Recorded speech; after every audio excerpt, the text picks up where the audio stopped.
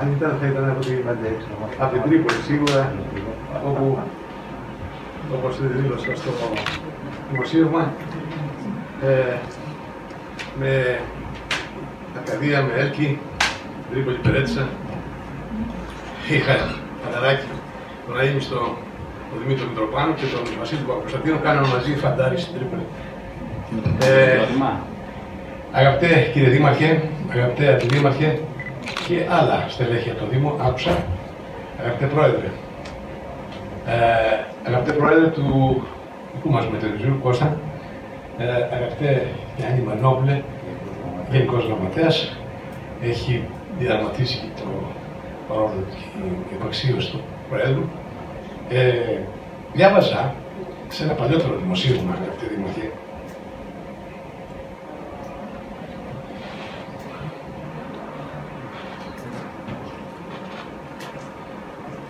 έξι ελληνικές πόλεις.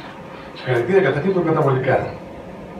Μέσω των χρηματοδοτικών εργαλείων της Ευρωπαϊκής Ένωσης, οι πόλεις θα μπορούν να υλοποιήσουν επενδύσεις που θα επιταχύνουν τη μετάβασή τους στην κλιματική ουδετερότητα και τον ψηφιακό τη μεταξυματισμό, να προωθήσουν ολιστικές λύσεις στον πολεμικό σχεδιασμό, να εφαρμόσουν έκπνε τεχνολογίες και ευέλικτα συστήματα διαχείρισης ενέργειας και να υιοθετήσουν φιλικό προς τον περιβάλλον τρόπο, ε, ε, ε, τρόπο μετακίνησης και μεταφοράς. Με πέντε κουβέντες θα έχει περιγράψει εδώ ο φίλος μου νομίζω ο Παλατσάκης και ο, ο Χατζηνικολάου στην αυτοπολική, της καθημερινή, θυμάμαι. Ε, πράγματι, το εγχείρημα είναι και το στοίχημα είναι σοβαρός. Αλλά είμαι βέβαιος ότι με τη συνεργασία που το σχεδιάσατε, με την υπομονή και τη γνώση των πραγμάτων, θα. Ε, άλλωστε πήρατε και τα εύσημα και από την ελληνική κυβέρνηση και από την Ευρωπαϊκή Επιτροπή και νομίζω ότι αυτό ε, θα είναι πιλωτικό, θα είναι ε, ε, μεγάλο για την γενικότερη για τη χώρα μας, αλλά και οδηγός για την πιλωτική εφαρμογή στην ευρύτερα και τα φέρετε και νωρίτερα προς τα βαρός για 10-20 χρόνια είναι μεγάλο πράγμα. Ε, αγαπητέ Πρόεδρε, γνωρίζω την σημαντική δράση του 11ου Περιφερειακού Τμήματος. Τη γνωρίζω και από μέσα, τη γνωρίζω και προσωπικά. Πριν από μερικούς μήνες εγκαινιάσαμε στο τάξη με μια εκπομπή, να την έχετε δει, διάλογοι με πρόσωπα και πρώτος προσκεκλημένος δεν θα μπορούσε να λείπει από το πρόεδρος του οικονομικού μας του φορέα, ο Κώστας Οκόλιας. Εκεί σχεδιάσαμε από την αρχή και κάποιες υποσχέσεις, αλλά και το τι γίνεται και ε, έχει γίνει μέχρι τώρα και θέλω να σας πω μια μικρή, πολύ σύντομη ιστορία. 2000, έπρεπε να υπερασπίσουμε τον επάγγελμά μας του λογιστή φοροτεχνικού. Εκεί θα γραφόταν ο νόμος 2873. Βρεθήκαμε κοντά σε αυτή τη διάταξη. Πάντοτε επιδιώκαμε και με το οικονομικό πολιτήριο. Και η ταπεινότητά μου. Εκεί θα γράψει ο νομοθέτης για πρώτη φορά την εδραίωση του επαγγέλματος του λογιστή φοροτεχνικού.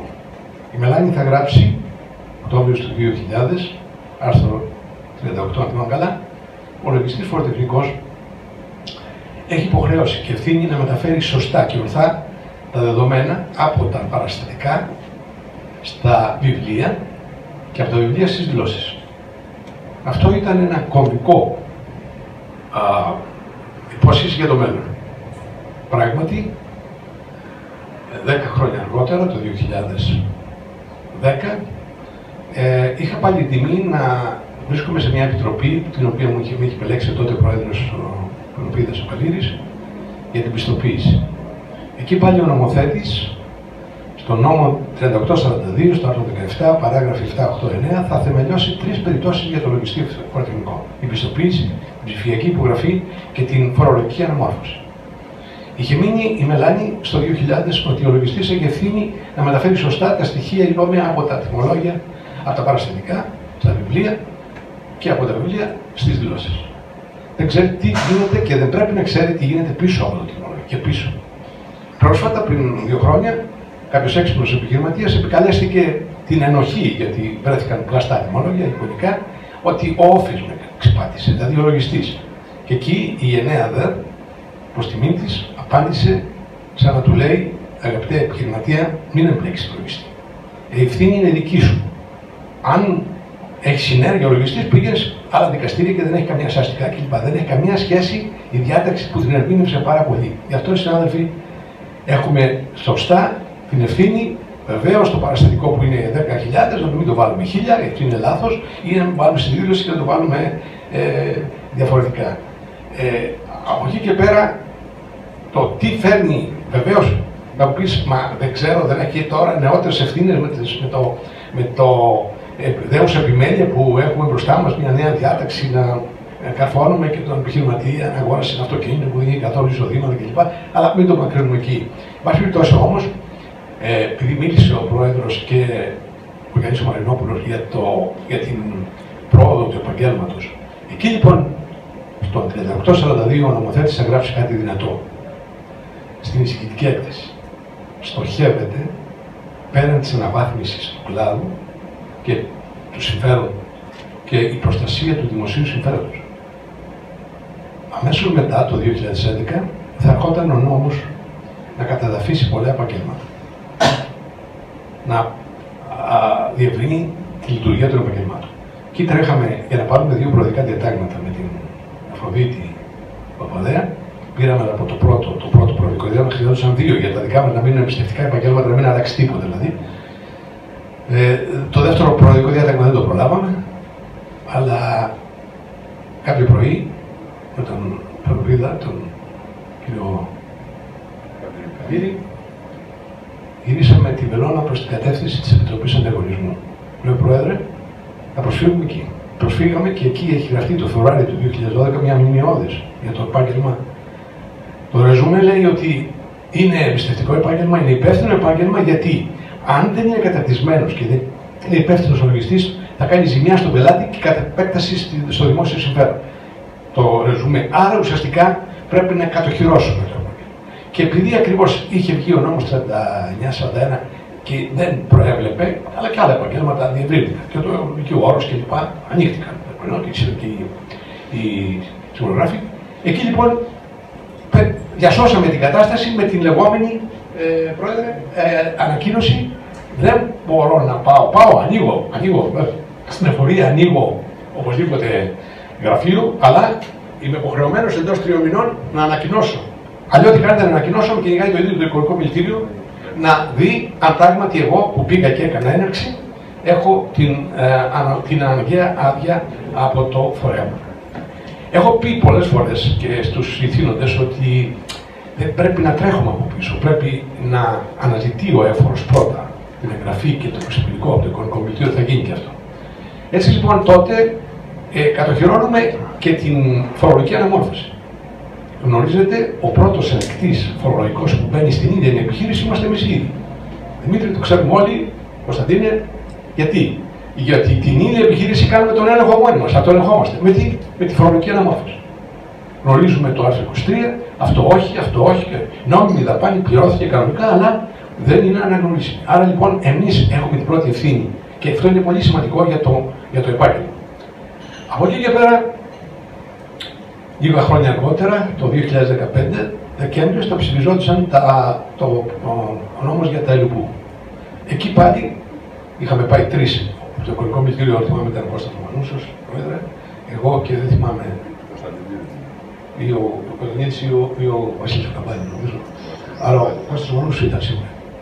Δεν μου πήγαινε καλά αυτή η διάταξη που έλεγε στο άρθρο 5, παράγραφος 4, μιλάω για, τον, για τα ΕΛΟΠΟΥ, το 4803 ήταν μπερδεμένο το θέμα. Δηλαδή αυτό που έλεγε την εκπροσώπηση των, ε, την εκπροσώπηση των, ε, των λογιστών. Δήμαρχε σας, ευχαριστώ πάρα πολύ. Να είστε καλά. Πάντα δύναμη, να είστε καλά. Λοιπόν, γεια σας. Παρακαλώ.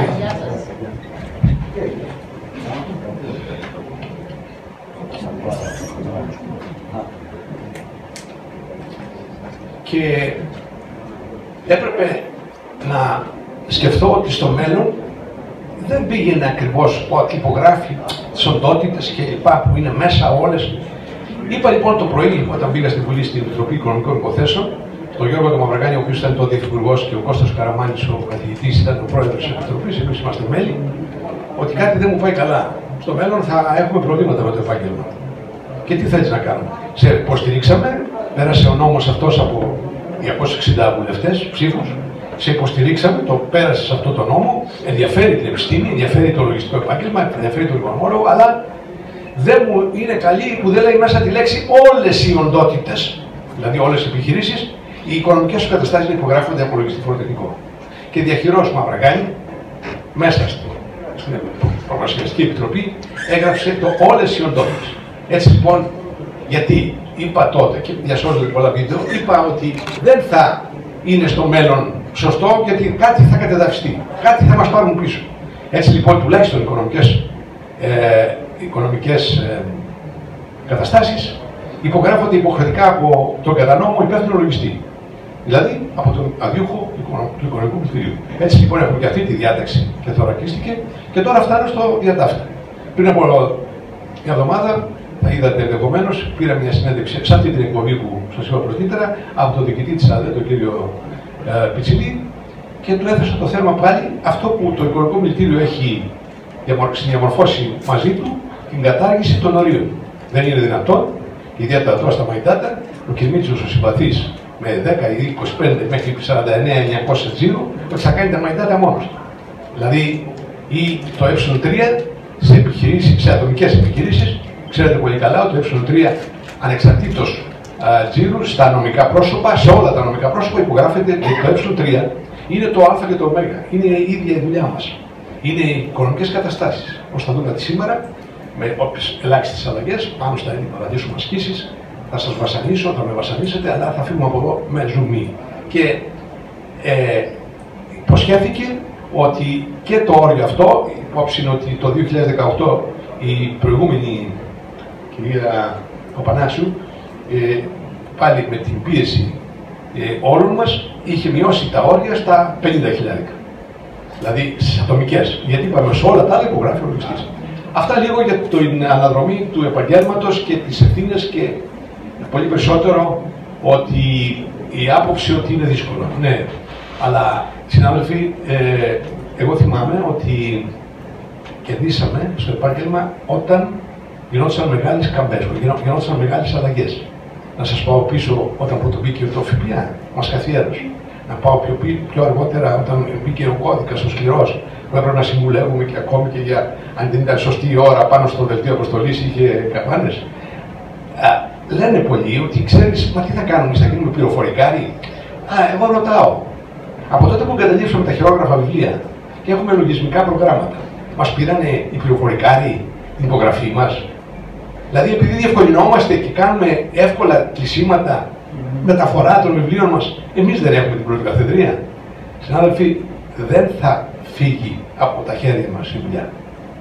Αρκεί να δώσουμε και να κάνουμε τη γέφυρα όπως ακριβώς υπάρχει, υπάρχουν επιτροπές, άξιοι συνάδελφοι, ε, από το Οικονομικό Μιλητήριο και από, εγώ θα ήθελα και περισσότερη διεύθυνση, Γιάννη, και από, τις, από τις, και από τις ενώσεις, και προς αυτήν την κατεύθυνση είμαι διατεθειμένος να βοηθήσω τη δραστήρια ένωσή σας, Κώστα, να πάμε πιο μπροστά. Αυτό που λέει το Οικονομικό Μιλητήριο, πες μου που πας να σε πάμε. Αυτή είναι η καλή διαφήμιση. Αυτό ισχύει. Πες μου που πας να σε πάμε και που δεν έχουν πάει μαζί. Χέρι-χέρι. Αυτά. Πριν τα πεις αυτά, επειδή σε άκουσα και μπορώ να, να σας κάνω μια παρέμβαση και να σας πω μια χαρά ε, δύο πράγματα για αυτό το, για αυτό το θέμα. Πρέπει όλοι να ενισχύουμε και να υπάρχουμε, να συμμετέχουμε στους συλλόγους λογιστών και πρέπει να συμμετέχουμε και στο οικονομικό επιμελητήριο. Οι σύλλογοι λογιστών με το οικονομικό επιμελητήριο δεν είναι αντίθετοι, δεν είναι αντίπαλοι. Άλλο ρόλο επιτελούν το ένα και άλλο ρόλο επιτελεί το άλλο. Στους συλλόγους λογιστών είναι καθαρά συνδικαλιστική για τον κλάδο μας, που υπηρετώ και εγώ και ο Γιάννης που μας το πάνε, και ο Γιώργος, το οικονομικό επιμελητήριο έχει και έναν άλλο ρόλο. Έχει μέσα, όπως είπα, και δημοσίους υπαλλήλους, έχει και ανθρώπους που δουλεύουν στην ΑΕΔΕ ε, και ανθρώπους που δουλεύουν σε υπουργεία ή οπουδήποτε αλλού, σε δήμο, σε ΟΤΑ και μπορούν και μπορεί να κάνει και άλλα πράγματα. Όταν είμαστε πολύ μαζί, έχουμε μεγαλύτερη φωνή και δυνατότερη φωνή. Αυτό είναι το νόημα μέσα από το οικονομικό επιμελητήριο σε συνεργασία με τους συλλόγου μπορούν να προωθηθούν πολλά θέματα των κλάδων μας. Γι' αυτό λοιπόν, για να σας το αποδείξω αυτό, σας μεταφέρω και τη χαρά μου του Περιφερειακού Τμήματος. Την Παρασκευή, όπως θα γνωρίζετε, ανακοινώθηκαν οι τοποθετήσει των διευθυντών στις στις, στις δόσεις της Περιφέρειας Πελοποννήσου.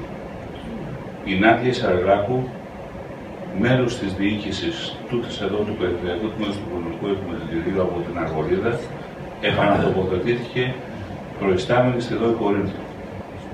Ο Γιώργος Ολιτρίδης, ο αντιπρόεδρος του Περιφερειακού Τμήματος, τοποθετήθηκε ε, της, της διοίκησης, τοποθετήθηκε υποδιευθυντής στη ΔΟΗ Ναυπλίου.